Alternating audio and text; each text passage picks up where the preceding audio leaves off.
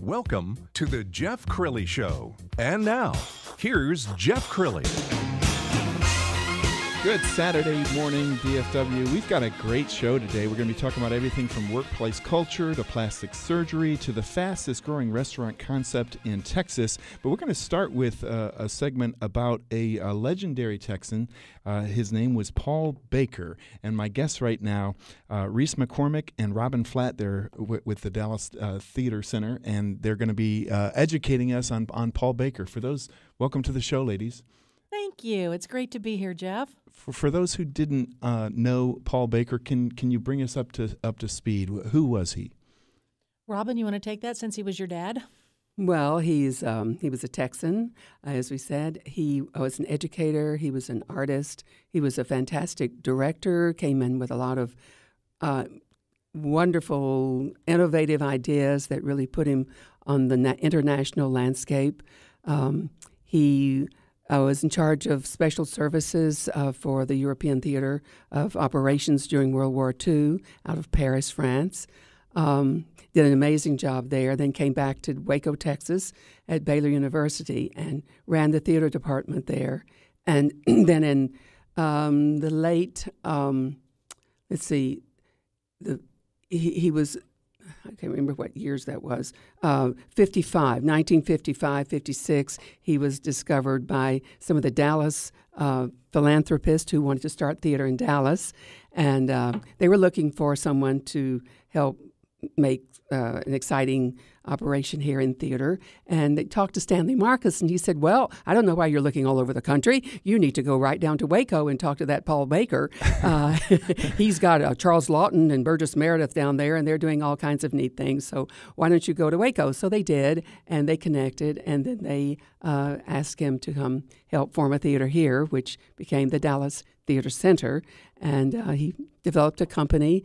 Uh, the I think at the end of his time, he had a company of 35 resident artists, um, you know, who were we were making our living there, uh, and then uh, about 80 graduate students. So it was a very active, very um, dynamic.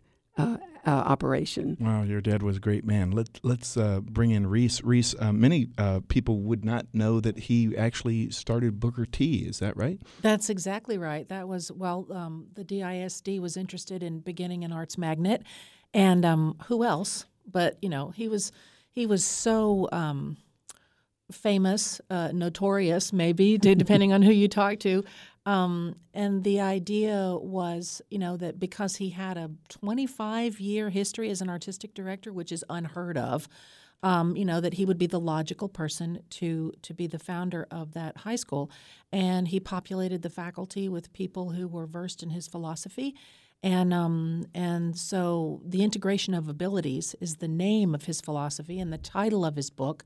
And uh, for years, that's where you would, that's what you would, that was part of your education. That was a required course.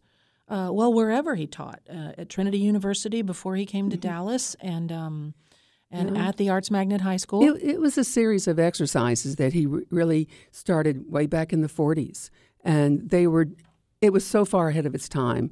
Uh, it, they're so simple. You think, oh, this is um, this can't be serious, but it allowed people to go to their roots, discover who they are and what their strengths are, and develop those strengths in in a way that was so supportive and so uh, just revelatory to the individual, and that experience has it, it's just tra- I mean, it's gone beyond him as almost anyone can Absolutely. take that and, and develop it. So that's what Arts Magnet was interested in. I got an email yesterday from um, a woman who lives in Austin, and she, her husband, she and her husband met at Trinity University in Paul Baker's class, which was offered through the theater department, mm. but neither of them were theater majors. He became a doctor, an otolaryngologist. She became a Spanish teacher, and her email that I just opened yesterday said, um, you know, that was a long time ago, but what we learned from Paul Baker affected everything we did in our professional lives. It had a lifetime impact. Wow. So it's not just about the arts, although of course, obviously, we are huge proponents of the arts. Um, you know, but it, but he was a genius beyond his um, you know, beyond his bailiwick there in the theater department. Let's talk about the documentary project because uh, telling a, a, the Paul Baker story is is not easy. To, no. You know, you can't put it in a soundbite. So, talk about the journey and how the public can get involved. Well, we are at the. It started in December of 2012 in a very innocent conversation with Robin, where I said, "Hey, where's the documentary on your dad?" And she said, "There isn't one. Why don't you do one?" And I said, "Because I'm an actor, not a filmmaker." and uh, she said, "Yes, but you know people, and I do indeed know people. Um, I've been working at KD Conservatory for about 30 years, and uh, know a lot of filmmakers. So I've been calling in some favors, and that was five years ago. And now we're at the point where we are actually launching a fundraising campaign um, to get her done. Uh, my goal is to have it screened uh, by fall. So we've got 30 plus interviews. We've got um, all kinds of you know archival materials and testimonials. Uh, and my goal is to share his process. Um, because unlike other artists who may have a creative process, many great artists have a process, he actually objectified it and identified it and did it in a simple way that he could pass on. Mm. And I'm, I'm very interested in education reform. And um, and that's what the film is is hopefully going to speak to educators and artists and the general public. And so you're launching a, a crowdfunding effort. Yes, and um, it will it will launch on this coming Monday, and it will be the um, Monday, the 27th of March, and it's going to be um, under uh, the Indiegogo umbrella, but it's actually called Generosity. And if you want to know more about it, you can go to the Dallas Children's Theater website. Um, we, of course, will uh, you know be sharing with everybody we know. Can I can I send it to you on yeah, Facebook, Jeff, and absolutely. you share it with no, your? It will, absolutely, great. We'll, yeah. we'll absolutely put it on Facebook. Uh, so, um, Robin, is this? Um, it's got to be um, I, an honor and and also a, a challenge because this is your dad's story, and and right. for, for for generations to come, this is how they will know your father. Well, and I'm so glad that Reese has taken this on because for me, it's it's so complex and I you know it's hard to see the forest for the trees, you know. So um, I'm I'm thrilled that she's taking a you know a, a, a, has a vantage point that I can't possibly have, but you know, he, he was he was just so amazing, and the number of people that continue to come to me and say he changed my life. He made such a difference to me. This was the most important course I ever taught, ever ever took, um, and and actually. Um, East, Easter Sunday, I'm going to be flying to Mississippi to do a workshop there with a group of teachers that they've uh, called Karen Cogdell and I from the Arts Magnet over to uh, to do that. So I mean, there's a lot of new interest in his approach because it is so inclusive and it's something that's accessible to everybody if you just dare to step into it. As as you're listening to some of these interviews, are you learning stuff about your own father? Well, of course. yeah, right. What uh, like what are some of the aha moments that you've had since oh. since uh, Reese has been going around getting these interviews? Well, Jen shared many of the interviews with me per se, but um, I, I think the aha is that people from so many different walks of life have taken this and developed it in, in for themselves and made themselves stronger, more. They they feel like they're more.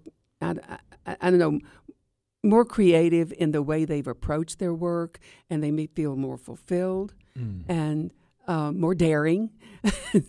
Take lot, you know, because he was a risk taker.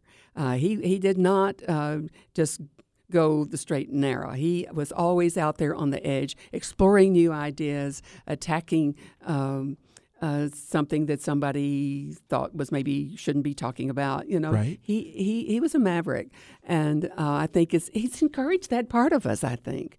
Right. That was the that was the big thing is that it's not it's not that Paul Baker was in the room. It's the process because I've been teaching that process and having um, aha moments from these students. For you know, they go, "Are you a psychiatrist? Are you a minister?" And I'm going, "No, it's it's the exercises.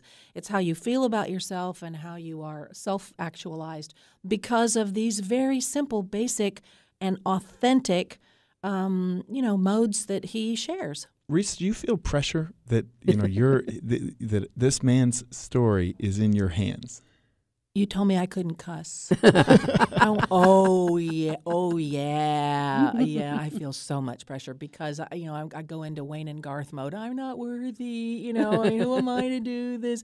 And I just, um, it's a privilege, and um, I feel like I've either been appointed or anointed or you know what. I don't know why me, but I'm I'm happy to be here. It's a privilege.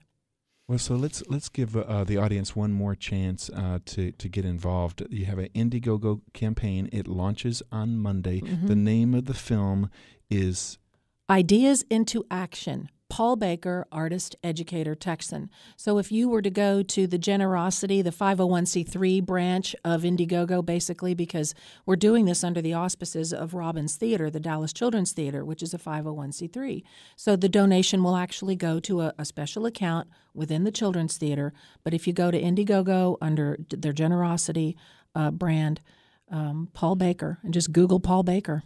Awesome. And if you have a problem, call me. there you go. There you go. Well, ladies, you were you were awesome, and congratulations on such a worthwhile project. Well, Thank you for having Thank us. Thank you. This is a, tr- really a pleasure. Awesome.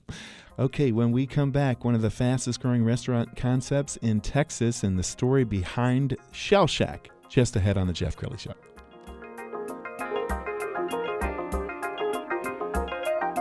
More of The Jeff Crilley Show coming up.